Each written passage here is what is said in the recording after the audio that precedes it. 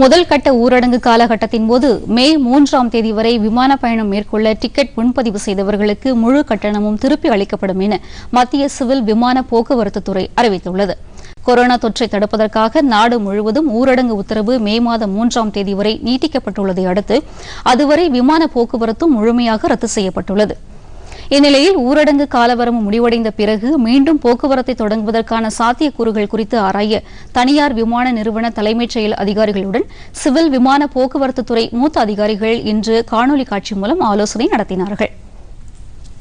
ஊரடங்கு காலத்தில் முன்பதிவை தொடங்குவது ரத்து செய்யப்பட்ட விமான பயணங்களுக்கான கட்டணத்தை பயணிகளுக்கு திருப்பி அளிப்பது தொடர்பாக விவாதிக்கப்பட்டது.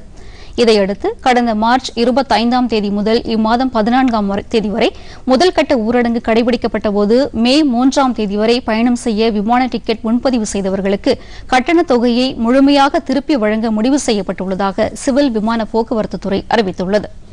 பொதிகை செய்திகளை யூடியூபில் தமிழ் நியூஸ் தூர்தர்ஷன் என்ற சேனலிலும் ட்விட்டரில் Tamil news Doordarshan at DD news Chennai என்ற பக்கத்திலும் காணலாம்.